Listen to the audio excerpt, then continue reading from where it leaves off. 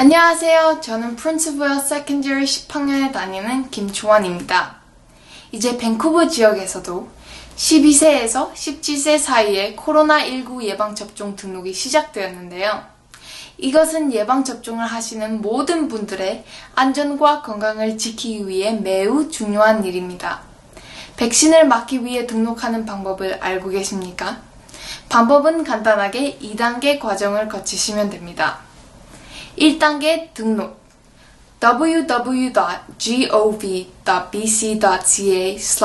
getvaccinated 방문하셔서 이름, 생년월일, 우편번호, 개인 건강번호, 그리고 귀하의 이메일 주소 또는 전화번호를 입력하셔야 합니다. 본인이 직접 예약을 하시거나 부모님 또는 보호자가 대신 예약을 하셔도 됩니다. 2단계 예약하기. 밴쿠버 코스탈 헬스에서는 예약이 완료되면 이메일이나 문자로 알려드립니다.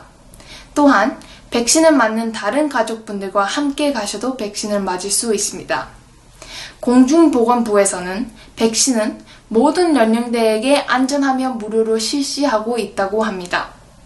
코로나19 백신이나 해당 지역의 클리닉 위치 또는 사후의 관리에 대한 추가 정보는 vch.ca